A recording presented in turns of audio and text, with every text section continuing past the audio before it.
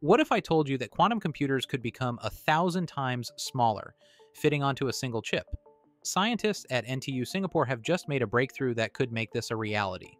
Quantum computers use qubits, the basic units of quantum information. Unlike classical bits that are either a 0 or a 1, qubits can be both at the same time thanks to quantum superposition. One way to create qubits is by producing entangled pairs of photons, which are particles of light linked so that the state of one instantly affects the other, no matter the distance. Typically, generating these entangled photons requires bulky, millimeter thick crystals and complex optical equipment to maintain their entanglement. This setup is impractical for integration into small devices.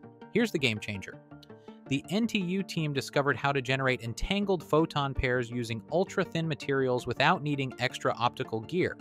Keep in mind, these ultra thin materials are just 1.2 micrometers thick, which is about 80 times thinner than a human hair.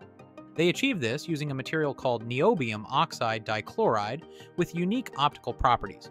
By stacking two thin flakes perpendicularly, they efficiently produced entangled photons. The thinness of the material means the photons remain in sync without additional equipment. This is significant because it allows quantum components to be integrated directly onto chips, making quantum computers more practical and scalable.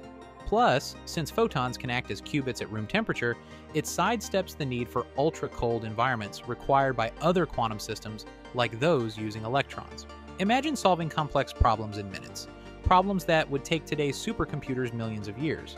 This advancement brings us closer to that future, the researchers aim to optimize their design further, exploring ways to produce more entangled photons by adding tiny patterns to the material's surface or combining it with other materials.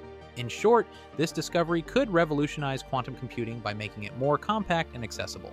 Thanks for watching. If you enjoyed this video, don't forget to like and subscribe for more content.